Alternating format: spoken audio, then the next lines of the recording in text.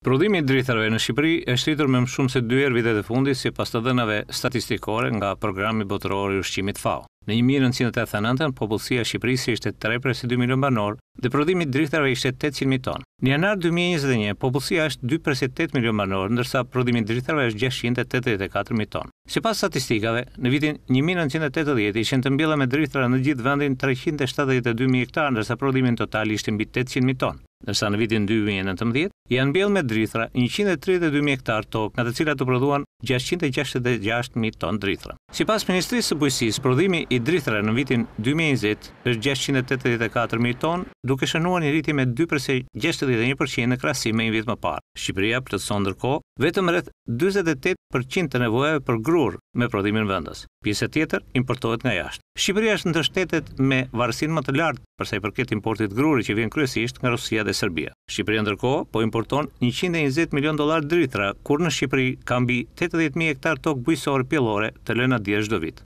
Sasia e grurit të prodhuar u rrudh gjithashtu.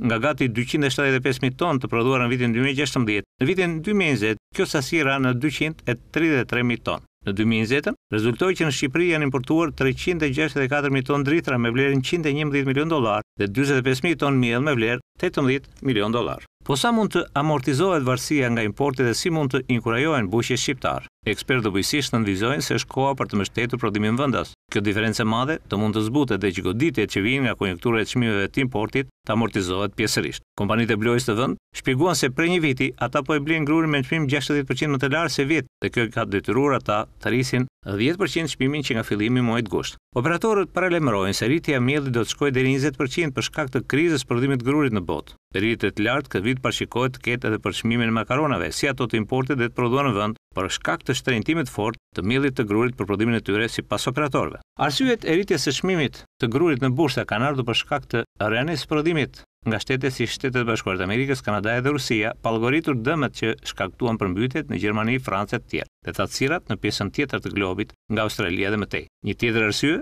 është dhe rritja e konsumit të grurit nga Kina, Kina këtë vit ka rritur kërkesën për import dhjetë deri njëzet milionë tonë më shumë se vjet, ndërkohë që vetë tregu ka pësuar rënie në prodhim me mbi njëzet milionë tonë.